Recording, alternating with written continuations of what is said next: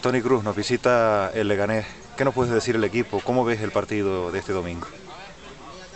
Pues como todos, llegado a estas alturas, tanto ellos como nosotros nos estamos jugando mucho. Esperamos un partido muy complicado, de un equipo además que una vez que ha recuperado jugadores lesionados, como el caso de Nacho Aznar, un jugador además que he tenido la suerte de, poder entrenar, pues ha aumentado su eficacia goleadora, ¿no? está metiendo muchos goles, también es verdad que está recibiendo bastante, pero lleva resultados muy buenos, el 2-4 en, frente al Celta de Vigo, el otro día el resultado frente al Pontevedra 3-2 en su campo. Bueno, esperamos, es un equipo con la impronta de su entrenador, eh, agresivo, eh, acumula muchos hombres delante de, la línea de balón. Vamos a tener que trabajar en las dos facetas del juego, tanto en defensa como en ataque. Pero bueno, nosotros somos conscientes de lo que nos jugamos y para nosotros sería fundamental ganar el domingo porque bueno, estaríamos prácticamente entonces a, a, un, partido de, de lo que es nuestro objetivo y a falta todavía de muchísimas jornadas.